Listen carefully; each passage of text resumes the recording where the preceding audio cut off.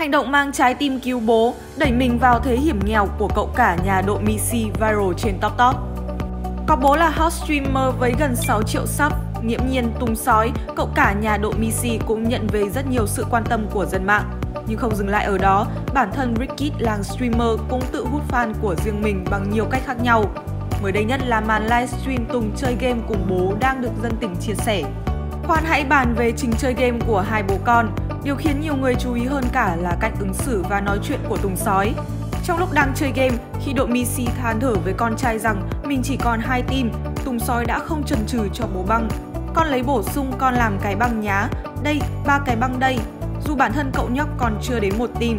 Đáng chú ý hơn cả là khi bố băng, cậu cả nhà độ Missy cực lễ phép đáp cho bố ạ, à, cho bố ạ. À.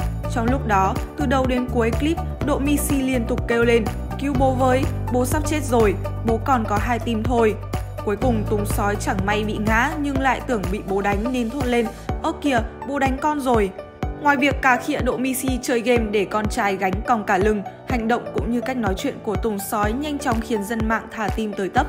Ai nấy đều phải đồng tình rằng cậu cả nhà hot streamer vừa dễ thương lại vừa lễ phép. Nhiều ý kiến đã được cư dân mạng để lại dưới video. Một lần cho là nói cho bố ạ, à, dễ thương thật sự. Bố còn hai trái tim nhưng đâu biết con chỉ còn một trái tim nhưng vẫn cho bố băng. Tôi nghe đi nghe lại khúc ô kìa bố đánh con rồi, cưng xỉu.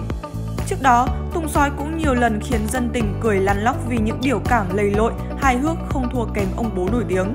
Đây cũng chính là lý do để nhiều người mạnh dạn dự đoán Tùng Sói sẽ nối nghiệp bố, thậm chí còn đe dọa xoán ngôi bố trong tương lai.